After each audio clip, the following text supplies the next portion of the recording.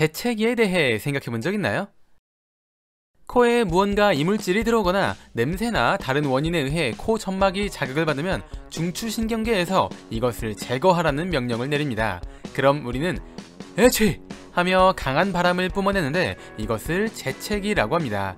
재채기를 할 땐 내가 의도하지 않아도 눈이 감깁니다. 이것은 재채기를 할 때 나오는 이물질이 다시 눈으로 들어가는 것을 방지하기 위함이죠. 그렇다면 만약 억지로 눈을 뜬 상태로 재채기를 하면 어떻게 될까요?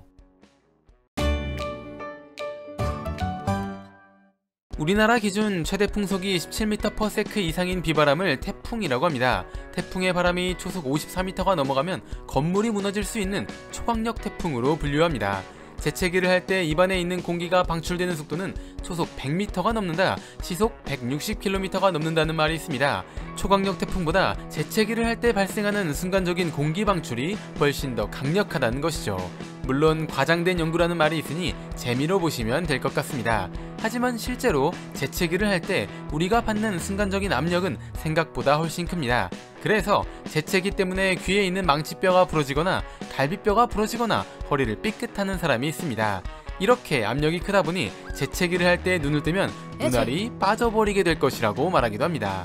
재채기를 할 때 받는 압력으로 눈알이 빠지려면 이 압력이 눈알에 전달되어야 합니다. 흔히 울면 눈물과 함께 콧물이 같이 나오는 이유는 눈과 코가 연결되어 있기 때문이라고 말하지만 정확히 말하면 눈물관과 코가 연결된 것이지 눈알과 코가 직접적으로 연결된 것은 아닙니다. 그렇기 때문에 재채기를 해도 눈에 압력이 전달되지 않습니다. 눈알은 우리 눈에 보이는 것보다 훨씬 더 큽니다. 그리고 근육과 안화라는 뼈가 눈알을 감싸고 있죠. 만약 눈에 압력이 전달된다 하더라도 근육과 안화가 눈알이 빠지지 않게 잡아주고 있기 때문에 재채기를 할 때 눈을 뜬다고 해서 눈알이 빠지는 일은 발생하지 않습니다. 실제로 억지로 눈꺼풀을 잡고 눈을 뜬 상태로 재채기를 한 사람의 모습을 보면 눈알이 빠지지 않는다는 것을 알 수 있습니다. 물론 그렇다고 해서 이런 행동이 안전한 것은 아니니 절대 따라해서는 안 됩니다. 재채기를 할 때 눈을 감는 건 눈알이 빠지는 것을 막기 위함이라고 말하기도 합니다. 만약 실제로 재채기 때문에 눈알이 빠질 수 있다면 눈을 감는 것으로 눈알이 빠지는 것을 막진 못할 것입니다. 눈꺼풀은 그 정도의 힘을 가지고 있지 않기 때문이죠. 재채기는 사람에 따라 다양한 상황에 나오기도 합니다. 햇빛을 보면 재채기가 나오는 사람도 있고 격렬한 운동을 하면 재채기가 나오는 사람도 있고 아주 드물지만 성관계 중 재채기가 나오는 사람도 있다고 합니다.